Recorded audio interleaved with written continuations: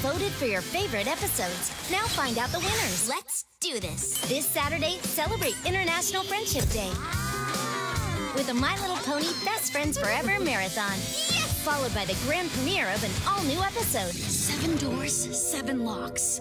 One of them leads to the treasure. What? It's the My Little Pony Best Friends Forever Marathon. This Saturday starting at 10 a.m. during Discovery Family's Summer Splash. That was.